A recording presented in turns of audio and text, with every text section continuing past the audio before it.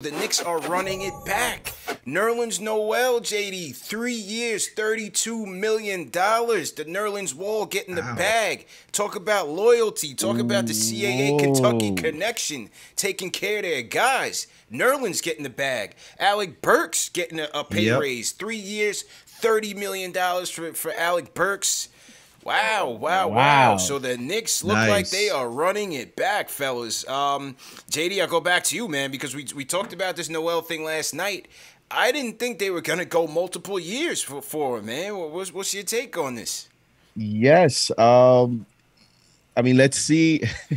Three years. Um, you know, let's see what the details are again. Is there a team option? Um, is is it you know the the the details will say a lot. But as I mentioned yesterday, I I never ruled out the potential re-signing of Nerlens Noel for the simple fact if you just look at the clues from Tom Thibodeau's previous tenure with uh Joakim Noah in Chicago and you know I mean Karl-Anthony Towns is a franchise player he tried to get that out of him but at the center position he just loves 48 minutes of rim protection and when Mitchell Robinson was healthy with Nerlens Noel he was he got 48 minutes of rim protection. And so i think that's an important ingredient and formula to be able to execute his system. And when you have a signing like evan fournier who's not necessarily a sol- a great defender um you know evan fournier is going to get a lot of minutes i think rim protection becomes even more paramount um depending on some of these other guys you're going to resign especially if you're going to lose reggie bullock who is a solid defender so i think on the basis of tom thibodeau we've seen it with jericho sims he just loves shot blockers he Yeah. loves athletic centers and Nerlens Noel was a career high in blocks at 2.2 blocks last year. CP, when we, you know, when you were doing the mid-season grades last season, there were a lot of people that thought Nerlens Noel was the unsung hero. Listen, I, know- he listen. He, um, trust me, he was because when Mitch went down, we had no rim protection. You're right, but three years, thirty-two million now, and then what are we gonna do with Mitch? See, Well, how this much is are we gonna wa- invest in? in, in ah, that's crazy. Go ahead, bro. I, the deal's kind of crazy to me. Go ahead, bro.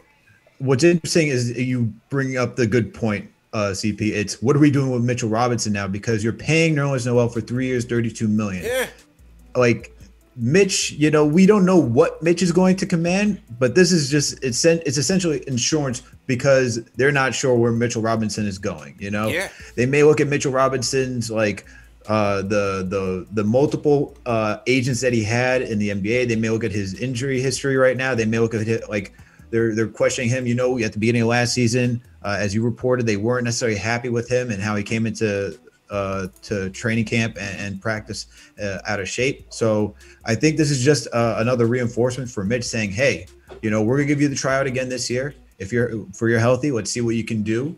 But we got our insurance in Nerlens Noel. We got our backup center, and I think they're saying we can move. I think they're also saying, look, we can move Mitch too. Like they're happy to move Mitch at this point because they already locked up someone in Nerlens Noel to be that center, and he showed that he could be a starting center. He they, he showed he could play majority of minutes, Bro, at whether it's 12, 30, at 30 plus twelve minutes. million You know? So dollars, I would expect. I don't. You gonna pay twelve million dollars for a backup five, bro? I, I don't See, know no- about that. see- no, and that's the thing. But that's what I'm saying. They they they have it. They don't have to move Mitch right now. But Right. What essentially what this is saying is that they're going to move Mitch at some point. That's that's that's how I'm reading it. Is that he will be Kinda moved at some point because he's got a good contract, 1.8 million. Someone else can go take that, get some bad money off their books. Maybe you get a pick or a couple picks in return. Uh, maybe one first rounder, a couple second rounders in return for Mitchell Robinson. But this is insurance saying Nerlens Noel is like who they're putting their stock in. And ju- just just real quick, CP, Yeah, as a clue to this potential signing, uh, Wojnarowski's reporting that Kelly Olynyk, who we discussed on yesterday's show as a viable option, Okay. he's getting three years, thirty-seven million from the Detroit Pistons. Wow. So, you know, Wow. is is this the market for these type of players? seems you so. know what I mean? Hold on, because Jarrett Allen Jarrett just got a five-year contract five-year, for a hundred million dollars. Million dollars, man. Wow. I mean, but bro, I mean, Jarrett Allen has a lot more promise than Nerlens Noel. Listen, I'm, I'm not hating on Nerlens, bro. I'm not hating on Nerlens. Don't get me wrong. He held it down as a as a solid rim protector at the bench, but as a limited offensive threat with no hands and does not get enough rebounds for us. it's a questionable deal. That's all I'll say. i am happy that he's back. I, I have some questions here. I have some questions no, here. There's a lot of questions. It just really makes it just really puts Mitch's future up in the air. I at this point, I'm not saying he's fully guaranteed to be traded because you could also like just because you signed Nerlens to a three year contract doesn't mean you can't trade Nerlens Noel down the line either. Yeah. Um, I think you're also. I think for them, it's also you know you got the CA, you got the CA. Con- they took care of him connection. Yeah, but they took care of him exactly. They took care of him. So either one could be moved. You know, it's just it brings a lot of questions right now. Is it Nerlens Noel that you're invested in, or are you trying? Is this a trial for Mitch? Is this just insurance for Mitch? There's a lot of directions that you can go with with this type of signing. Now, CP, would you change your opinion yeah. if this comes out to be a two year deal with a team option? Yeah, yeah, I would. So, so it's dependent on the details for you. Yeah, I mean, yo, it's a backup five, man. That, that's all I'm gonna say. And a, again, a guy that yes, he gave, he's strong in one particular area, but on the boards, we we have no boards. We'll, we'll, we'll see how it goes, man. All right, um, that was Nerlens. How about Alec Burks, man? Three years, thirty. How, how we feeling about Alec Burks coming back, man? I'm I'm happy about it, man. I'm definitely. You know, you, we know you're happy. Yeah, yeah. Yeah, I'm, listen, I'm, I'm, happy about it. It gives us an, another shot creator off the bench. As, as, I said, Burks at times he came up clutch for us in a lot, many a fourth quarter. Took a lot of pressure off guys, especially the younger guys off the bench. Reliable three point shooter.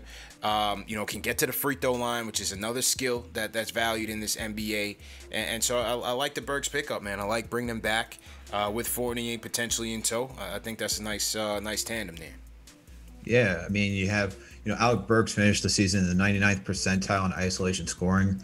So it's really good to know that we have someone who can legit create their own shot off the dribble and just create for others as well. Like we had even and for others, like we saw him do the limited point guard when we had when we didn't have D Rose, we didn't have Elfrid Payton for stretches of the season. So it's good that we have you know the third string point guard breaking break glass in case of emergency, mm-hmm. but to have him back especially if he's coming back off the bench, definitely need something need him because he has that Lou Williams, Jamal Crawford. Not saying he's exactly those guys, but he gives you that type of presence where he just comes off the bench, microwave score. You know, some nights he's going to go 16 for 18 and really be that flamethrower. Other nights you're going to get two for 18. But the fact that he's a threat and you have to honor his shot because he can just go off at any minute, that helps the New York Knicks tremendously as the season goes on.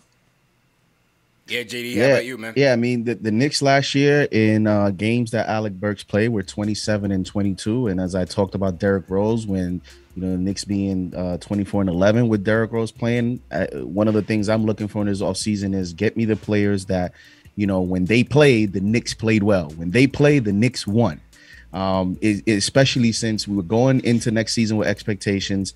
Um, we we're going into the off season with hat with like six seven players under contract. So you would i like to see some players return and he's one of them. Yeah. and i think the addition of alec burks complements evan fournier because we talked about reggie bullock being one of those guys. Now you have two guys evan fournier in spot minutes can create his shot. You got alec burks now. So now we're adding you know more playmaking to the roster at, at the guard and wing position. Yeah. So I think those complement each other um, from that standpoint.